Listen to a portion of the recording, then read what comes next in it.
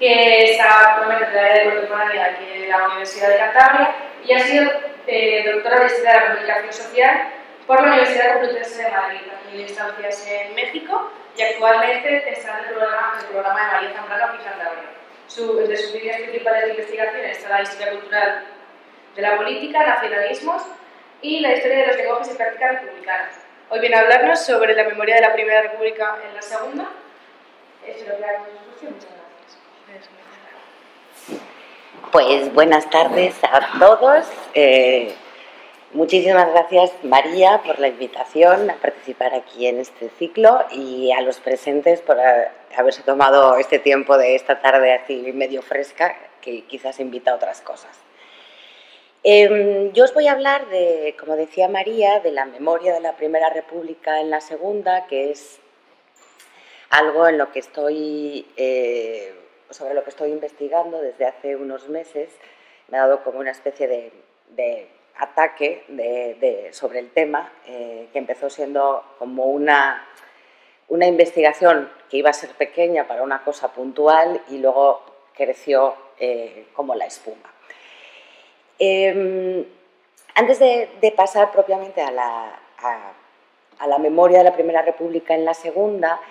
eh, me gustaría comentar un par de cosas eh, que creo que nos pueden ayudar a,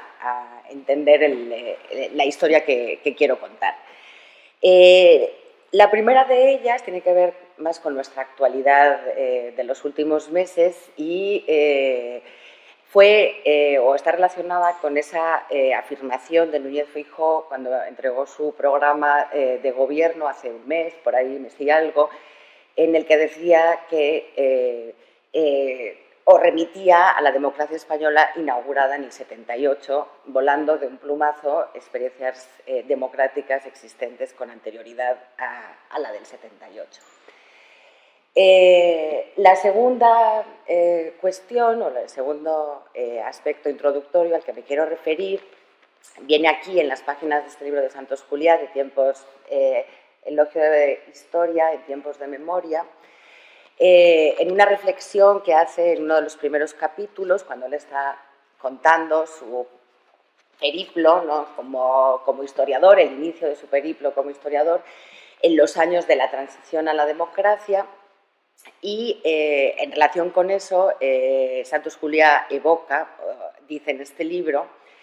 fue un tiempo en el que el pasado se nos metía en el presente por todas las rendijas posibles y hasta en muchas ocasiones por amplias ventanas que seguían abiertas de par en par. No es que tuviéramos que recordar el pasado, es que vivíamos con el pasado pegado a la espalda. Eh, estas frases de Santos Juliá eh, me parecen muy oportunas para explicar eh, el papel o el lugar de la memoria de la Primera República en la Segunda, porque eh, aquellos habitantes de los años 30, buena parte de, la sociedad de los años 30, pareció también estar viviendo con el pasado pegado a la espalda. Y con un pasado eh, muy concreto, que era el de la Primera República, eh, sobre todo teniendo en cuenta la cantidad de alusiones y de referencias que se hicieron a, ese experimento político, sobre todo a su primera parte, a los 11 meses de República federal o eh, federal sería a partir de junio, pero vamos, antes del golpe de Estado eh, de Pavía.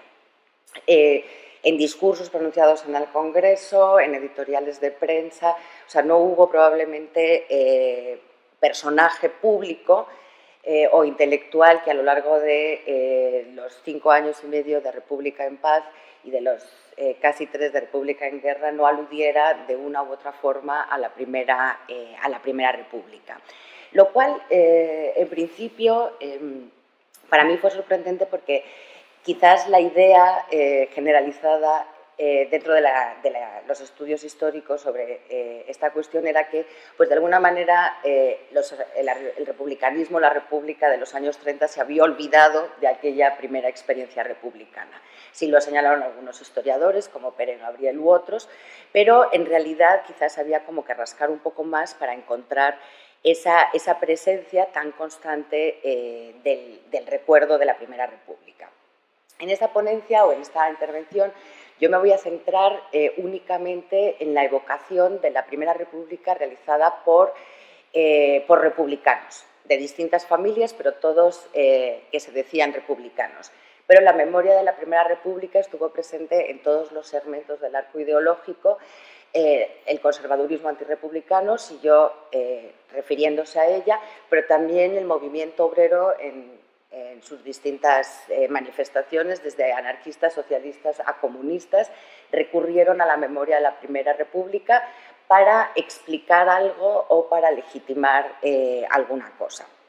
En este sentido, de lo que yo voy a hablar en este, eh, en este ratito, o la historia que voy a contar, es una historia de la memoria de la Primera República, no una historia de la República,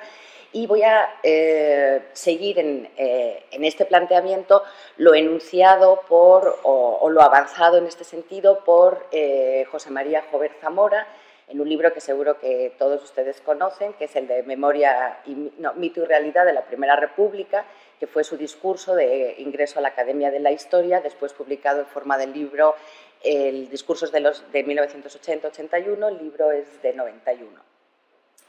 Eh, pero también, eh, pues 40 años después del trabajo de, Jover Zamora y, eh, por supuesto, con toda la humildad del mundo, voy a cuestionar algunas de, los aspectos o de las afirmaciones que él hacía en este libro, fundamental, sin duda, o sea, yo creo que uno de los mejores libros de historia que, he leído. Eh, pero voy a cuestionar la parte relativa eh, a, la memoria en la que él se enfoca. Y él se enfoca fundamentalmente en la memoria del antirrepublicanismo, del conservadurismo antirrepublicano eh, o de la visión negativa de la República emitida normalmente por, ese conservadurismo, sobre todo a partir de la restauración, como una manera de legitimar la monarquía recién restaurada eh, pero un discurso del que participaron o, al que abonaron también algunos republicanos como eh, Emilio Castelar, eh, primero y posteriormente y desde un ángulo distinto también de la Revilla.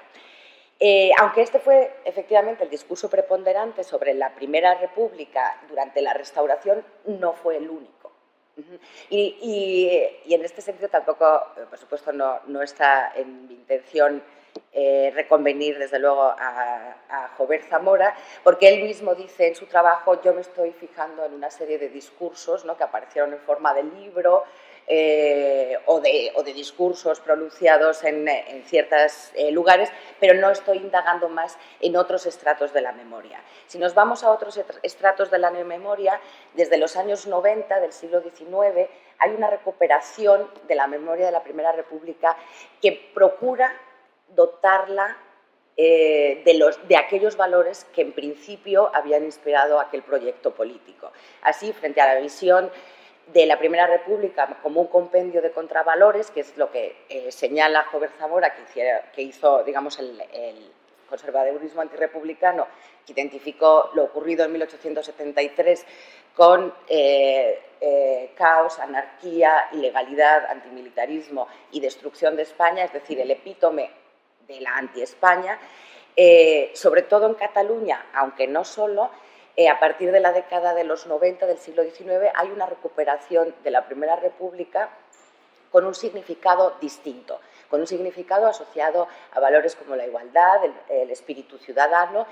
y, en general, eh, la democracia. Las conmemoraciones del 11 de febrero, de la fecha del día del advenimiento de la Primera República, eh, fueron recurrentes en la prensa eh, republicana catalana. Esta es una cabecera de la Campana de Gracia, precisamente conmemorando el, 11 de febrero de 1892, pero también aparecen otro tipo de obras que buscan eh, resignificar la Primera República. Entre ellas, por ejemplo, el libro Fragmentos de mis memorias del ex general, ¿cómo era? Esteban, no, ahora se me ha ido el nombre, ahora, me vendrá. O eh, otro libro publicado por el que fuera alcalde de Barcelona, Nicolás Esteban, perdón, era el, el, Fragmentos de mis memorias, u otro libro publicado por el que fuera alcalde de Barcelona en 1873, eh, González y, Sugrañes, La República en Barcelona, en donde se está intentando o se está proponiendo un significado distinto eh, del significado eh, que se había generalizado de este significado conservador que identificaba a la Primera República con un conjunto de, contravalores. Em, de todos modos, eh, e, esa, resignificación que empieza en, eh, los años 90 va a ser la, que va, eh, sobre la que se va a apoyar el nuevo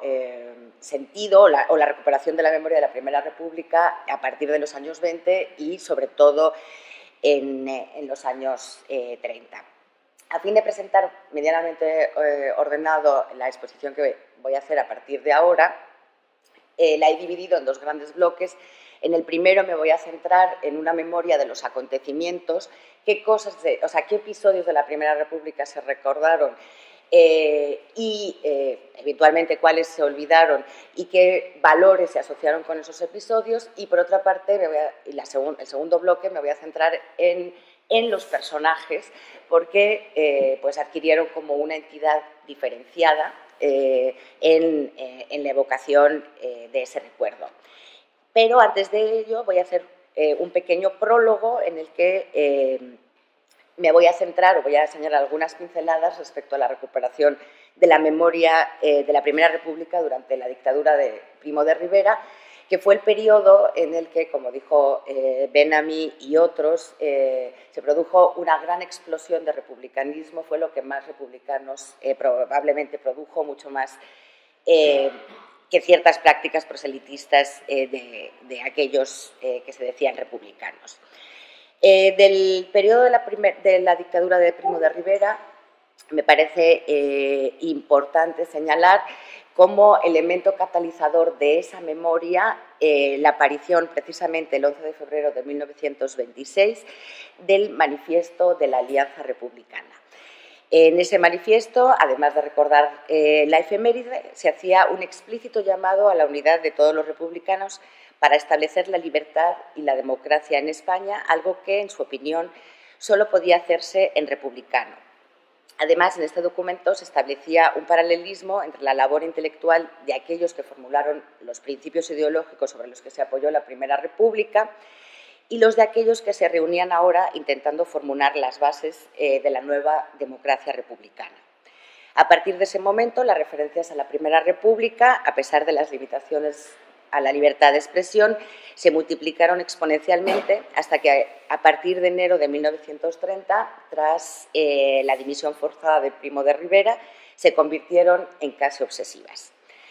Eh, para no extenderme en este prólogo, me voy, a mencionar solamente eh, dos de esas alusiones que me parecen especialmente ilustrativas. La primera de ellas eh, tuvo lugar en 1928 en el Cementerio Civil de Madrid y estuvo protagonizada por el hasta entonces, eh, hasta ese momento poco conocido, Manuel Azaña, que en su calidad de miembro de la Alianza Republicana acudió al Cementerio Civil frente a las tumbas de Salmerón y Pi Margal y pronunció un pequeño discurso.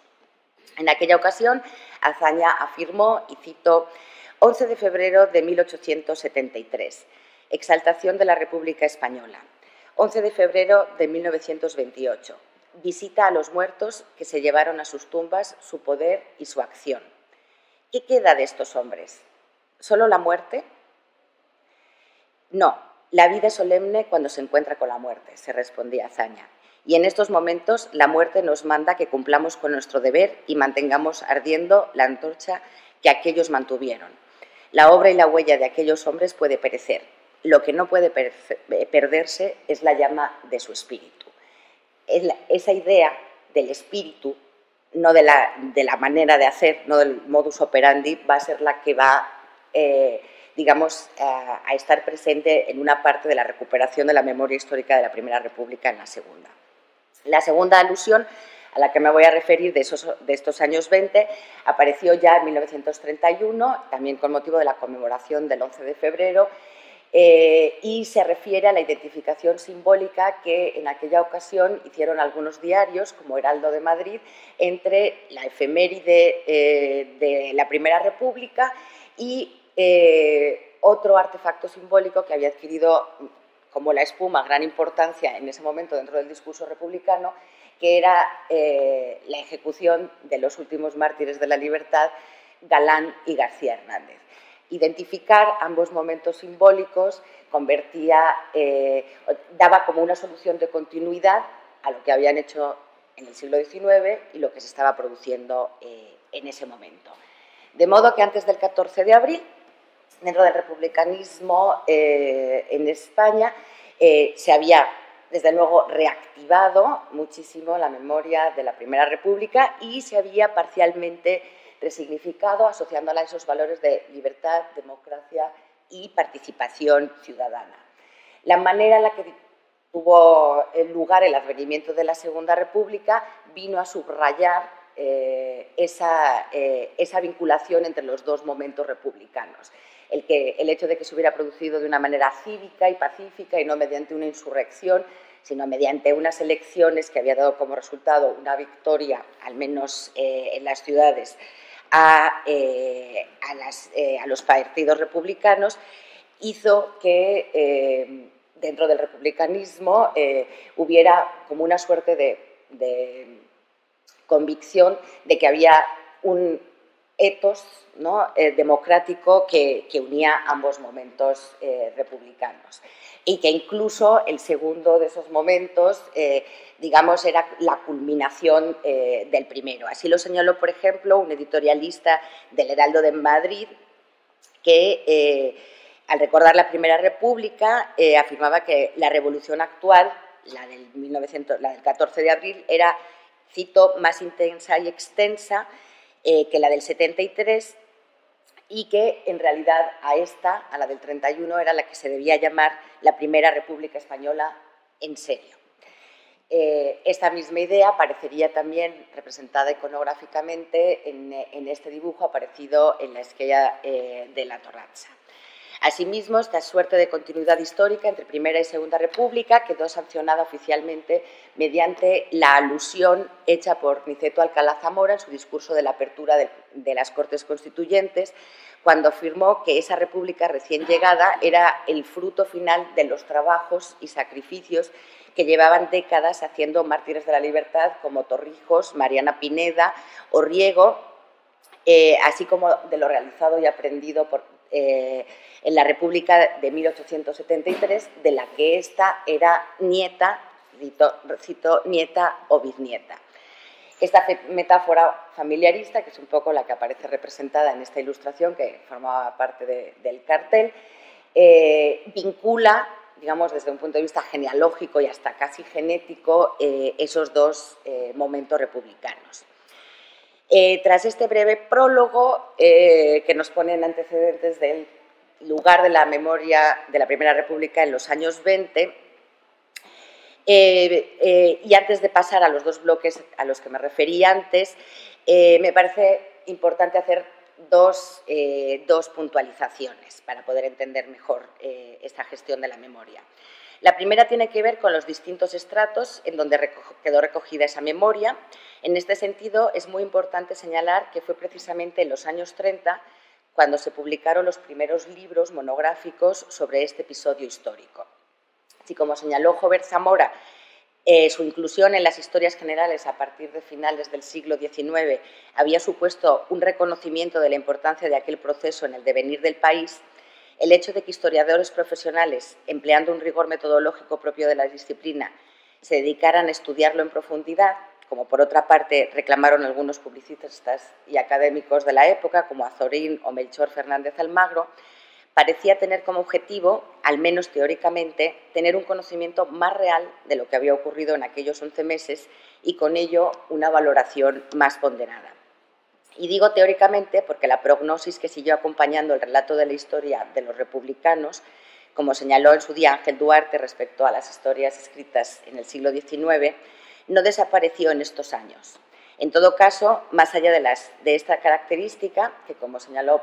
Pedro Ruiz Torres, fue propia de la escritura de la historia en los años 20 y 30, estas monografías constituyeron eh, un aporte al conocimiento histórico de la Primera República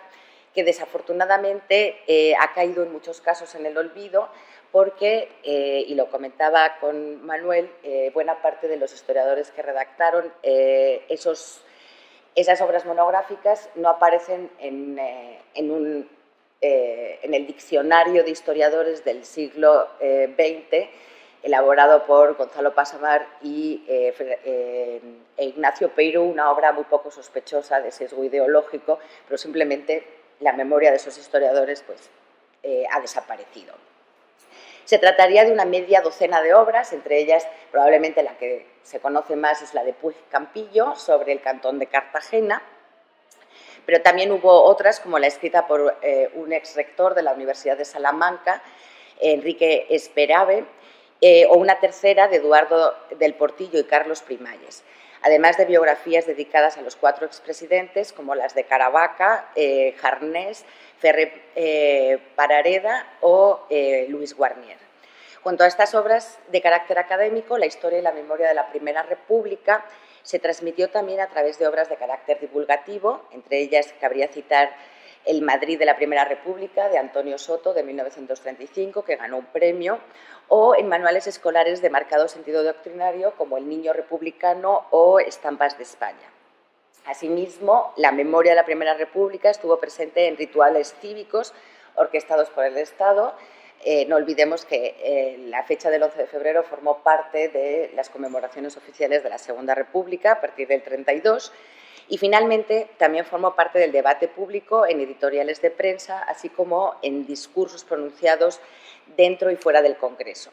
Esta multiplicidad de registros, en donde quedó plasmada la memoria de la Primera República, pone de relieve la importancia que tuvo eh, su evocación en la España de los años 30. La segunda precisión tiene que ver con las variantes del republicanismo que eh, convivieron en esos años sin ahondar mucho en, eh, este asunto, es, importante tener en mente que los distintos proyectos, que de forma muy simplificada podríamos eh, eh, decir que encabezaron Azaña y Leroux, imprimieron una lectura muy distinta a la memoria de la Primera República y eventualmente produjeron una disputa simbólica sobre la gestión de esa memoria.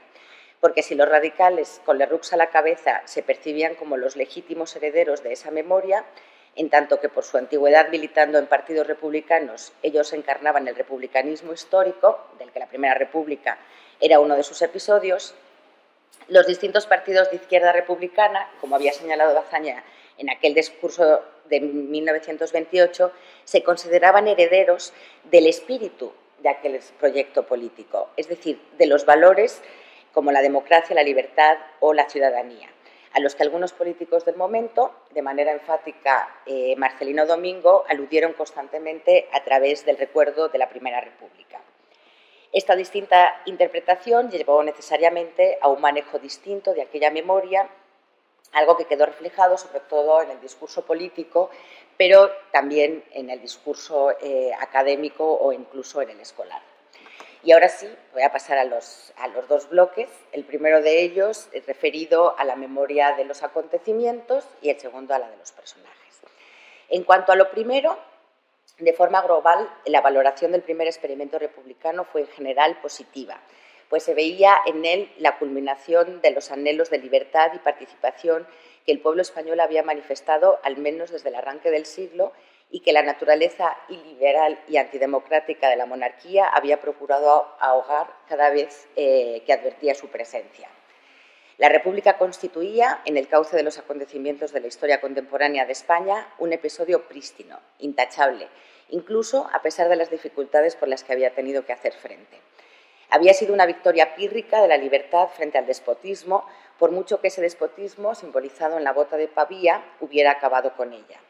Así se desprende, por ejemplo, de las palabras del mencionado catedrático Esperave, quien calificaba la República del 73, y cito, como obra grande, hermosa y pacífica, que comenzaba su vida bajo los mejores auspicios, entre otras cosas, porque entonces figuraba a la cabeza de nuestros parlamentarios y políticos los oradores más elocuentes, las mentalidades más gigantes, los hombres más austeros y honrados. Termina la cita.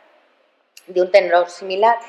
era la valoración que hacía el historiador murciano Puig Campillo, quien consideraba que la República del 73 había sido, y cito, una romántica empresa salpicada de legendarias proezas realizada por la baronía de unos ciudadanos que sintieron hondamente el dolor de España. Termina la cita. Esta percepción positiva generalizada de la Primera República no implicó, sin embargo, una valoración acrítica de la misma. La mezcla entre espíritu crítico y voluntad trascendente con que don Benito Pérez Galdós eh, había resignificado los sucesos que tuvieron lugar en 1873 en sus dos novelas que le dedicó aquel episodio histórico, parecieron estar en la mente de muchos de los, de los republicanos de los años 30. De aquella experiencia histórica debían sacarse lecciones que sirvieran para el presente y para el futuro. Las dos principales lecciones que se consideraba que se debían extraer de la República del 73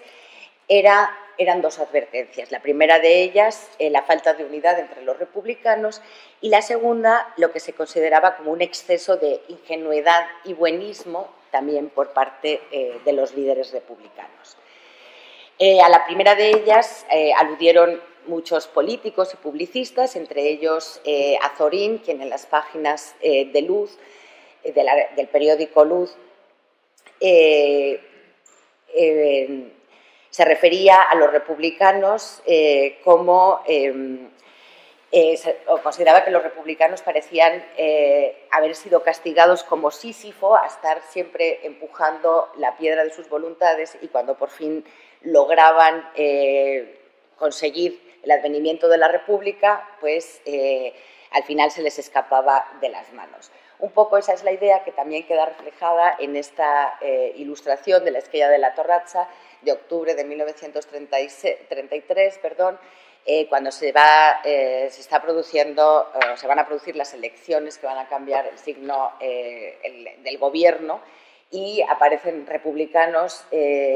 dándose de golpes unos a otros ante eh, la mirada triste de eh, tres de los, eh, de los expresidentes de la República, Figueras, que normalmente no suele aparecer, Pim Margal y Castelar. En cuanto a la ingenuidad, esta se cifraba en la confianza que los republicanos habían mostrado hacia todos aquellos políticos monárquicos a los que se les había mantenido en el cargo a pesar del cambio de régimen y cuya deslealtad había causado, o al menos favorecido, la causa de la República. La República fracasó, señalaban los historiadores Eduardo, y Eduardo del Portillo y Carlos Primalles, porque carente de, y cito, carente de hombres nuevos, hubo de entregarse a monárquicos disfrazados de republicanos que siguieron actuando políticamente para descrédito y ruina del régimen recién implantado. Termina la cita. Algo que visualmente o iconográficamente eh, representó uno de los dibujantes del periódico eh, catalán La Humanidad, en el que esa eh, república del 73 está eh, aleccionando, le está explicando eh, cómo fue engañada a la República del 31 para evitar que ésta eh, caiga en los mismos errores. De modo que la interpretación de la memoria de la Primera República osciló entre el ejemplo y la advertencia. La mayor o menor presencia de una u otra lectura estuvo estrechamente ligada al devenir político de los años 30 así como al distinto significado que el fin y los medios de la República tuvo entre los distintos eh, segmentos del republicanismo. Eh, respecto a la sucesión de los acontecimientos que jalonaron la existencia de la Primera República, el más recurrentemente evocado fue la jornada del 11 de febrero, fecha eh, que permite además ilustrar o me permite ilustrar la disputa simbólica que se produjo entre, entre los mencionados dos segmentos del republicanismo. Aunque ambas corrientes partían de una valoración positiva de la forma pacífica en que se había producido el advenimiento del nuevo régimen, para Leroux y sus socios de partido, lo ocurrido en aquella tarde del 11 de febrero solo se podía explicar como la combinación de dos factores fundamentales. Por una parte, el carácter insurreccional del republicanismo y por otra, la necesidad de liderazgos firmes. Ambos elementos habían hecho posible la República de 1873 Y ambos elementos, que según sus apologetas se encontraban encarnados en el líder radical, como puede advertirse, por ejemplo, en una de las caracterizaciones que se hizo en el libro de oro del Partido Radical sobre Leroux, serían las que permitirían que la República del 14 de abril funcionara.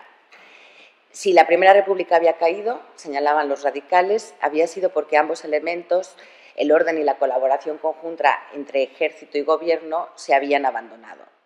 Esa constituía para ellos la gran lección de aquella república. De ahí se desprende, por ejemplo, la transformación que le dieron a la fiesta del 11 de febrero en 1934 y 1935, que la convirtieron en una fiesta que servía para entregar distinciones de ciudadano de honor y de republicano ilustres, unas distinciones que creaban como una suerte de jerarquía eh, dentro del republicanismo y que en 1935 a resultas de la Revolución de Octubre del 34 fueron entregados a miembros del Ejército y de la Guardia Civil. La izquierda republicana, por su parte, asignaba otro significado a aquel episodio histórico al que se relacionó con los mencionados principios eh, a los que ya me he referido, como la virtud cívica o la moralidad. Eh, para los defensores de esta postura, dichos principios habían estado presentes en la actuación de la sociedad que, con su respuesta entusiasta y pacífica al cambio de, régimen el 11 de febrero del 73, habían ratificado uno de los anhelos fundamentales del republicanismo histórico español, la existencia de una ciudadanía activa y participativa preocupada por el bien común. La importancia de subrayar este significado y de establecer a partir de ello una analogía con lo ocurrido el 14 de abril recorrió todo el lustro de existencia pacífica de la República dentro de este segmento del arco ideológico. Así puede apreciarse, por ejemplo, en eh, la lectura y la ilustración que aparecían en el popular libro eh, El niño republicano, en el que se subrayaba ese espíritu cívico y pacífico, o en el discurso pronunciado por Pedro Rico con motivo de la inauguración de centros escolares en 1933, en el que había dicho, eh, refiriéndose al 11 de febrero, que hasta entonces, y cito, fue, había sido una fiesta de esperanza durante muchos años hasta que pasó a ser una fiesta de resurrección. Y una vez resurrecto el espíritu republicano, no cabía mejor homenaje al régimen del 73 que culminar su obra mediante la apertura de grupos escolares en los que se reproducía la ideología que le dio vida en esta labor de amor, de cultura y de esfuerzo personal que es obra de la ciudadanía. En fin, dos significados respecto a la Primera República dentro de los dos segmentos del republicanismo que yo creo que son claramente, eh, claramente distintos. Además del momento seminal del advenimiento del régimen republicano, los libros de historia eh, también eh, hicieron referencia a otros momentos que constituían un hito dentro de la historia eh, liberal, como el establecimiento de unas cortes constituyentes elegidas por, una, por un sufragio verdadero que representaba la voluntad de la ciudadanía. Y también se aludió a la difícil gobernanza del país a causa de las constantes insurrecciones antirrepublicanas y de las diversas guerras que entonces se libraban entre las que, en general no se establecían jerarquías o gradaciones respecto a cuál de ellas resultaba más lesiva para el país. La insurrección cantonal, que durante la restauración había sido uno de los episodios que más se habían utilizado para desprestigiar eh, la República, ocupó un lugar secundario en buena parte de estas monografías, pero eh, en todo caso no se vertió en ella una imagen tan negativa como la de los años previos, sino que eventualmente sirvió a algunos profesionales de la historia, como Caravaca o del Portillo y Primelles, para ajustar cuentas con Castelar, a quien, siguiendo la interpretación primargaliana eh, de aquel eh, episodio, consideraban que las causas del colapso de la, atribuían a él las causas del colapso de la República y se le culpaba por haber preferido atacar a los cantonales de Cartagena que a los carlistas eh, del norte del país. Finalmente, para cerrar este bloque, las omisiones más flagrantes probablemente en los relatos eh, de, la, recuperación de la, primera, de la memoria de la Primera República en la Segunda tendrían que ver con las cuestiones que eh, hoy llamaríamos como de historia social, porque eh, la revuelta de, Alcoy, por ejemplo, y otras y otros eh, problemas y otras insurrecciones de carácter social normalmente no aparecían ni recogidas o recogidas muy eh, sucintamente en los libros de historia, ni se aludía a ellas tampoco en la prensa republicana. Finalmente, para cerrar este bloque, aunque en el debate público la memoria de la Primera República se activaba de forma más intensa en la fecha simbólica del 11 de febrero, la apelación a su recuerdo se hizo presente también en otros momentos. En el año de 1933, a partir de la crisis de la coalición republicano-socialista, las alusiones a la República del 73 se hicieron casi obsesivas, como, anunció, eh, como denunció Alberto Insúa desde las páginas de La Voz, al advertir que, y cito, es preciso curarse de la obsesión del 73. La Segunda República se parece muy poco a la primera. Termina la cita. Sin embargo, para muchos, como para el radical Augusto Vivero, esto no parecía tan claro. Por eso, en un editorial publicado en Heraldo de Madrid, elocuentemente titulado Nos quedamos sin república, recordaba la forma catastrófica en la que había caído la República del 73. De modo que la lectura de la Primera República en clave de advertencia parecía resultar preponderante respecto a la de ejemplo histórico. En 1935, sin embargo, las izquierdas republicanas y de manera enfática eh, Marcelino Domingo volvieron a insistir en la recuperación de la memoria de la Primera República en su sentido ejemplarizante eh, y asociaron eh, esa memoria con un nuevo mito surgido dentro del republicanismo y que había adquirido gran fuerza, que era el del 14 de abril en la vinculación de estos dos mitos, 14 de abril, Primera República, fue, eh, constituyó uno de los argumentos eh, principales que las izquierdas republicanas, eh, o uno de los argumentos que utilizaron para las campañas electorales para los comicios del 16 de febrero del 36. Tras el estallido de la, de la guerra, de la guerra civil, la memoria de la Primera República continuó formando parte de los discursos republicanos, como atestigua, por ejemplo, eh, un folleto publicado en 1937 por Roberto Castrovido, que fue uno de los eh, más fervientes defensores del proyecto de la, recuperación de la memoria de la Primera República.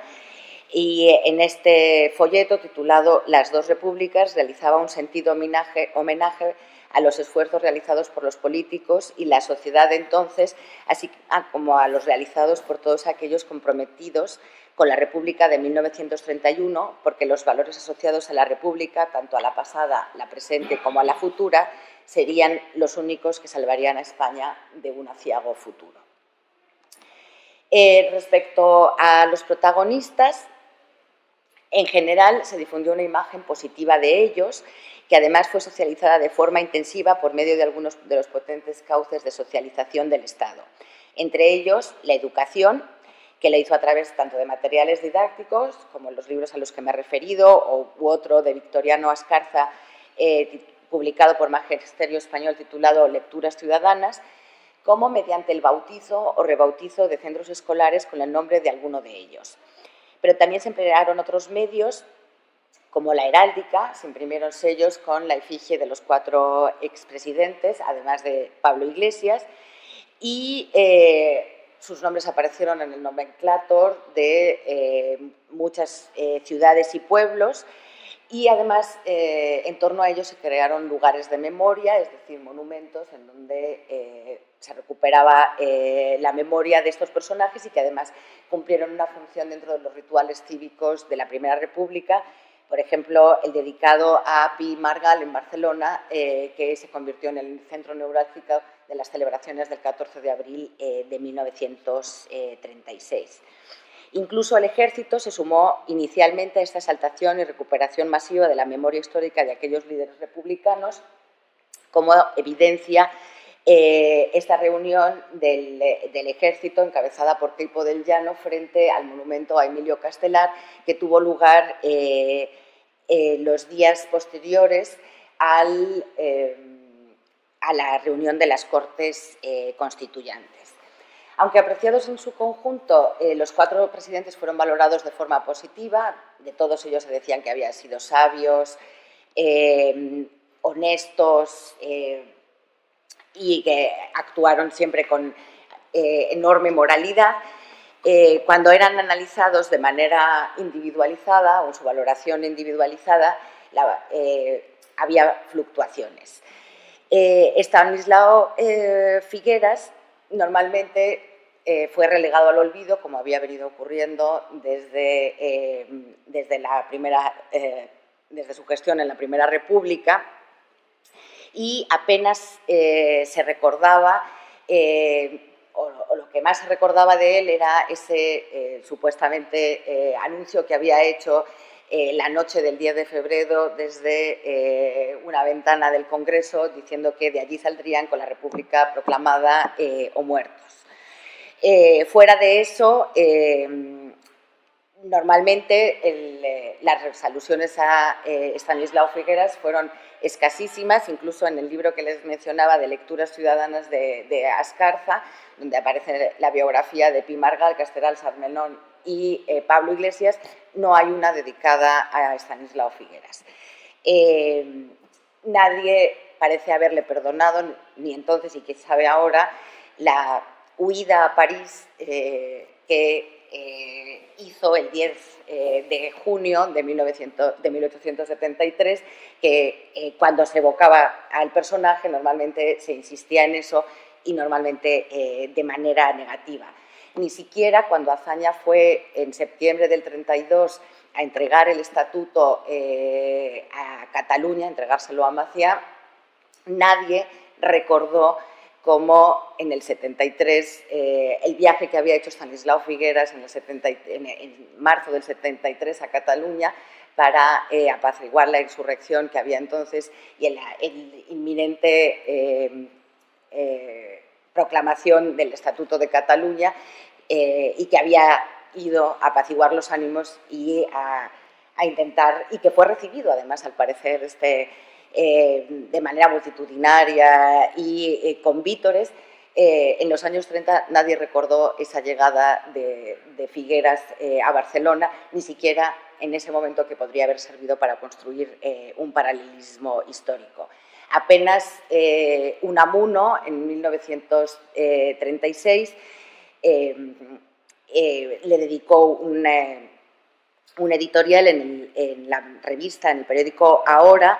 en el que hacía una valoración elogiosa de don Estanislao Figueras, eh, diciendo que en realidad lo único salvable de aquella Primera República era Figueras y que eh, desde el momento en el que él dejó, eh, salió hacia París y dejó la gestión de la República, el proyecto republicano había fracasado. Por su parte, Nicolás Almerón, cuyos planteamientos programáticos estuvieron más próximos a los defendidos por una parte significativa del republicanismo de los años 30, tuvo una mayor presencia en la memoria republicana de los años 30. En estos años se mantuvieron los eh, atributos con los que simbólicamente se había caracterizado al político durante la restauración, es decir, la moralidad, el apego a la ley y la firmeza de sus convicciones. Algo que si bien para algunos constituía una virtud, como para el catedrático Esperave o para Marcelino Domingo, quien con frecuencia lo sacaba a colación en sus discursos, para otros era un defecto, pues ello eh, le había llevado a adoptar posturas intransigentes hasta con los propios republicanos, como señalaba Caravaca, quien le acusaba de haber sido el primero en atacar a los sublevados del cantón de Cartagena. A pesar de esta ambivalencia respecto al significado de Salmerón, durante los años 30 se produjo una abundante recuperación de su memoria, como se advierte en algunos de los homenajes que se le dedicaron, como uno en 1935, y en hechos simbólicos como eh, la solicitud y, y consecución del cambio del nombre de la localidad donde había nacido, que pasó de llamarse Alama la Seca a llamarse Alama de Salmerón. Pero la disputa simbólica respecto a la recuperación y manejo de la memoria histórica de los cuatro presidentes giró, como había ocurrido ya en el 73, entre Castelar eh, y Pi Margal, porque pues, ambos representaban dos ideas republicanas eh, definitivamente distintas. Emilio Castelar, rehabilitado dentro del republicanismo a partir del siglo XX, después de décadas de, eh, condenado al ostracismo por sus propios correligionarios por su decisión de abanderar la opción posibilista, Durante la Segunda República encontró numerosos defensores de su actuación en 1873 entre las filas de los radicales o entre aquellos que a partir de 1933 abogaron decididamente por una república de orden. Así, Azorín, por ejemplo, consideraba que Castelar había logrado triunfar donde los demás habían fracasado y en su breve periodo de gobierno había conseguido, y cito, lo que los demás no habían logrado, una política de atracción y conciliadora. Termina la cita. En un tenor similar, mucho más exaltado, se expresaba Luis Guarnier en una monografía de divulgación aparecida en aquellos años, en la que afirmaba eh, que en el verano eh, de 1873, y cito, solo la figura de Castelar era la única que se mantenía serena y abnegada y hacia ella convergieron las miradas de todos los españoles. Termina la cita, porque Castelar fue el único que no pretendió hacer una república doctrinaria de partidos, sino una república, y vuelvo a citar, nacional, transigente con las creencias y las costumbres, sensata y fuerte. Termina la cita. Estas características serían las que a partir eh, o por las que a partir de 1934 y sobre todo en el 35 se, comentó, se comenzó a identificar simbólicamente de manera muy clara a Emilio Castelar con Leroux, ¿no? considerando que los dos, eh, a pesar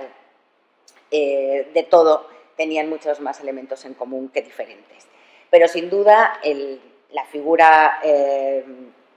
con mayor ascendiente simbólico eh, fue Pi Margal, eh, cuya memoria venía siendo recuperada eh, ya desde, desde, la, desde la restauración y en torno al que, como ha estudiado bien Pere Gabriel, se había construido todo un aparato, todo un mito simbólico. a él se refirieron, yo creo que casi todos los políticos de los años 30, todos se disputaban eh, todos se decían herederos de, las ideas eh, de Pi Margal, desde Leroux y los radicales hasta Marcelino Domingo, etc. Eh, y en realidad para el republicanismo este personaje venía a ser como aparecía en, esta ilustración de la esquella de la Torracha, como el, gran padre de la República, un personaje que había acabado ocupando un puesto en el futuro Museo de la República, en el que este abuelo le explica eh, a su nieto eh, eh, en qué consistió aquel proyecto político y el papel desempeñado por, por Margal. tal fue el ascendiente de, Pi Margal simbólicamente que también se utilizó algunos, o sea, Azorín y el mencionado historiador Francisco Caravaca eh, identificaron o procuraron hacer una identificación simbólica entre Pi Margal y Manuel Azaña, considerando que eh, los dos personajes habían representado, cuando Manuel Azaña no se refiere a Pi Margal, en todo caso a Salmerón, pero a, los dos los identifican como defensores de, eh, de la causa republicana, de una moral y unos principios y convicciones contundentes y que por eso mismo habían sido eh, atacados eh, duramente después de su eh, actuación política, tanto Pimargal como, como Azaña cuando salió del gobierno. Y bueno, como ya me he pasado del tiempo que me habías dado, entonces ya nada más dos, dos ideas para concluir, que yo creo que no, requieren demasiado eh, escurrimiento eh, de cerebro. La primera de ellas, espero haber eh, demostrado, es que la presencia de la Primera República en la Segunda fue abrumadora, que aparece por todas partes, esa es como esa idea de, que, leí al principio en, el texto de Santos Julia, de tener el pasado pegado a la espalda. Y la, segunda reflexión que a mí me, me lleva a este trabajo es a que esa recuperación de la memoria eh, histórica de la Primera República en la Segunda, eh, si bien tuvo como ciertas pretensiones de, eh, que el relato tuviera mayores dosis de verosimilitud, o sea, fuera un relato más apegado a la realidad, a lo que de hecho pasara en esos 11 meses de la Primera República, en realidad se construyó un relato igualmente o, bastante mitificado, eh, pero en este caso para defender eh, los nuevos eh, valores con los que se identificaron los republicanos de los años 30. Sería todo.